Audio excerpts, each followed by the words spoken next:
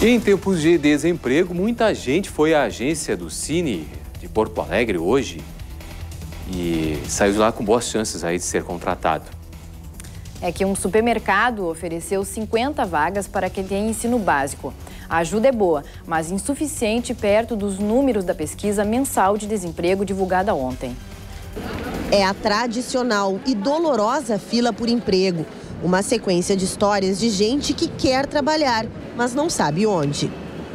Não tem vaga disponível, não tem. Aí eu tenho que uh, jogar, uh, tipo, pegar outro emprego de outra função, no caso. Você escutou, ah, te ligo daqui a uma semana, daqui uns dias eu te ligo.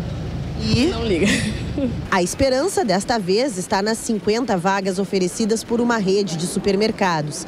A seleção acontece na sede do Cine em Porto Alegre. Estamos aqui com praticamente vai deve ter em torno de 200 a 300 pessoas em busca dessas 50 vagas. Então nós temos esta preocupação e é obrigação da fundação procurar mais empresas, colocar a, a, a mão de obra que nós, a, que a fundação tem para o trabalhador. 300 candidatos que fazem parte de um contingente de 195 mil pessoas que estão sem emprego em Porto Alegre e na região metropolitana. O dado é da pesquisa mensal de emprego e desemprego da Fundação de Economia e Estatística e da Fundação Gaúcha do Trabalho e Assistência Social. Segundo a pesquisa de abril para maio, a taxa de desemprego caiu de 9,5% para 9,2%.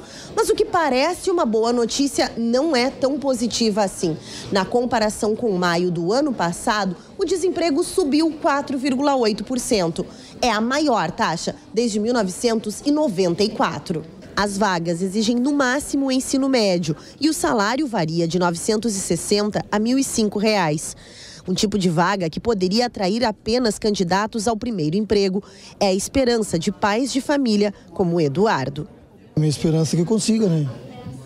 Essa é uma oportunidade. Vamos ver o que, que dá.